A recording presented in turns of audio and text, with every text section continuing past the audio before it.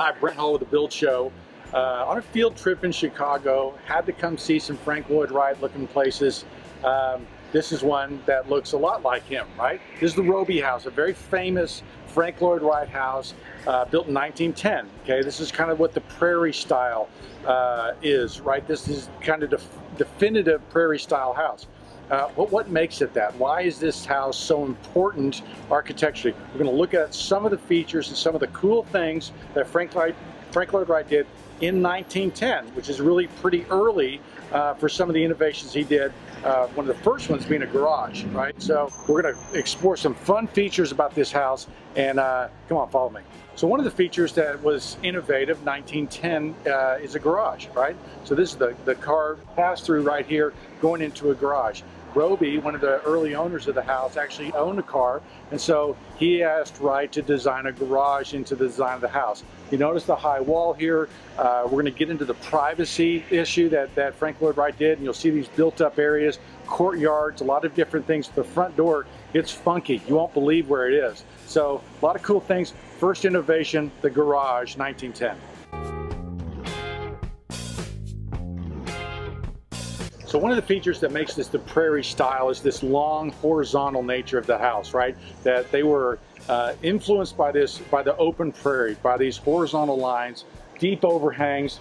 Frank Lloyd Wright spent time and, and, and purposely designed this thing so it would look long and linear. One of the things he did was he actually designed these bricks. First of all, it's a Roman brick, but that means it's a long, thin brick, about an inch and a half by about 12 or 14 inches long. Second of all, you'll notice that the mortar lines, okay, are, are raked in this in this kind of light colored mortar uh, in the horizontal, and in the middle on the on the vertical part, he has actually darkened these mortar lines so that you really only see this long horizontal line.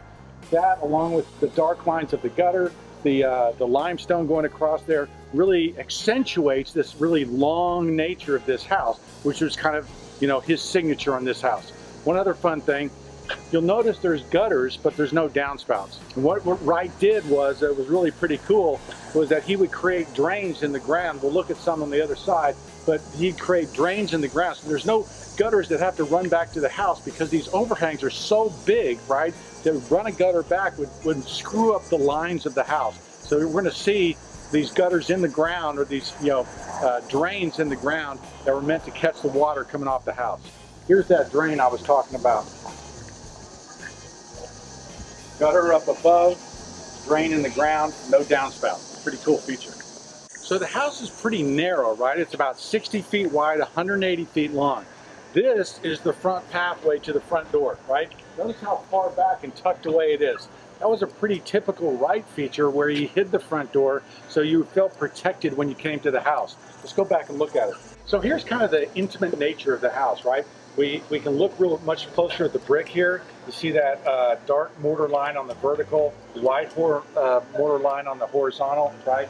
You get back and you can start to see the art glass, right? You see the, the, the pretty art glass and the design of that thing.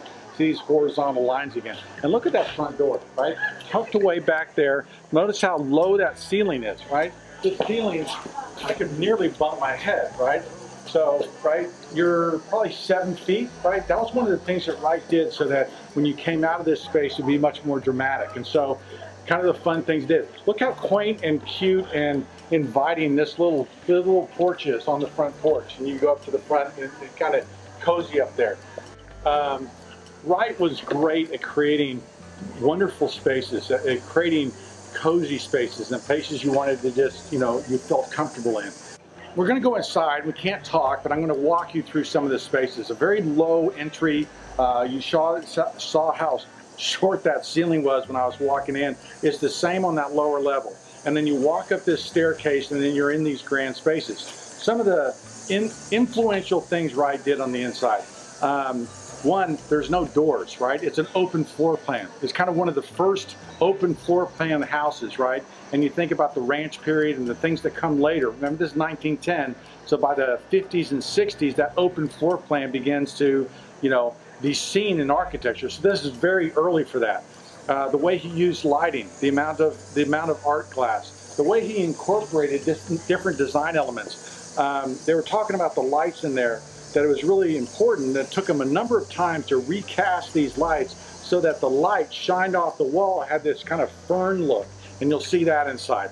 Um, the furniture that he built in there, Wright was a designer who wanted to do everything, right? He wanted to design the house, he wanted to design the furniture, and there's a story of him even designing the dress the lady was supposed to wear on the, the opening party of the house. So uh, incredibly, you know, involved designer in the process, but wonderful, neat things. You'll see a beautiful dining room uh, with these posts that come up through the thing with lights and the plants would have been inside those things, again, echoing what was going on in the house.